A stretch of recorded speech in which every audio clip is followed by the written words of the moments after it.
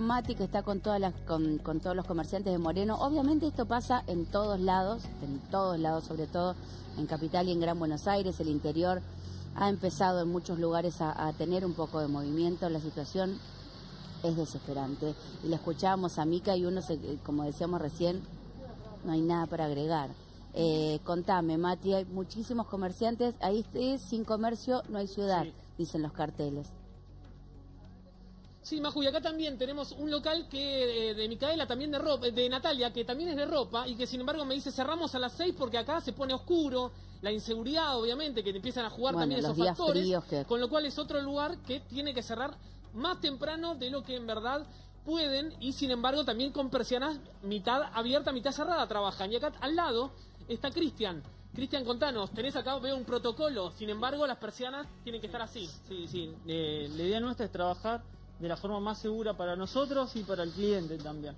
Eh, nada, tratamos de cuidarnos, hace, pusimos un plástico, tenemos alcohol, tenemos medidas como para la, mercadería higienizarla en el momento que entra de fábrica, en el momento que hay eh, un cambio, lo que sea, alcohol todo el tiempo, alcohol en las manos, todo el tiempo con barbijo. Eh, te, vendemos, yo por mi caso vendo indumentaria para bebé y para niños.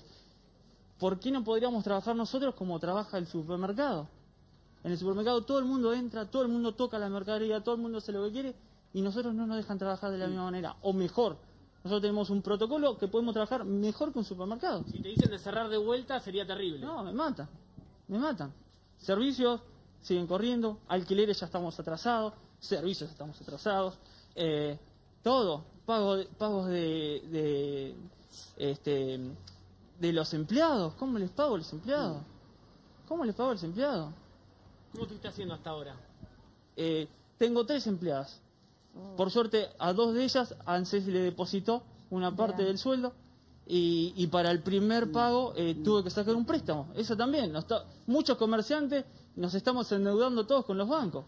Acá estamos con Natalia también, que era la que te mencionaba, que tiene el local cerrado, Maju, por, por la inseguridad, por el tema de, de, que se pone muy oscuro. Natalia, ¿cómo estás haciendo con el local? ¿No podés abrir? ¿Y cómo se hace?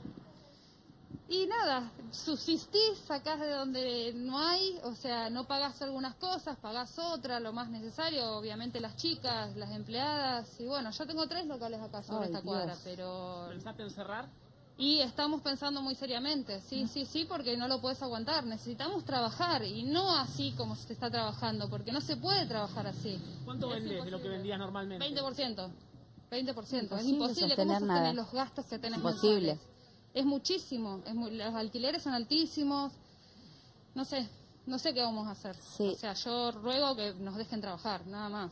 No estamos pidiendo planes, no estamos pidiendo nada. Quiero, claro, quiero darle de comer a las chicas, sobre todo a mis empleadas y a, a- a- a la familia. No se puede más así. Sí. No se puede más.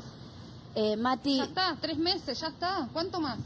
Sí, Maju. Mati, gracias y agradecerles ob- obviamente a todos por, por acercarse a Mica, a Nati, a todos y ojalá pronto pase. Pero mucha angustia, es, es, es, vale la redundancia, muy angustiante escuchar tanta angustia, es así, mucha angustia. Gracias Mati, gracias, Hasta luego, Maju. gracias mi amor, cuídate.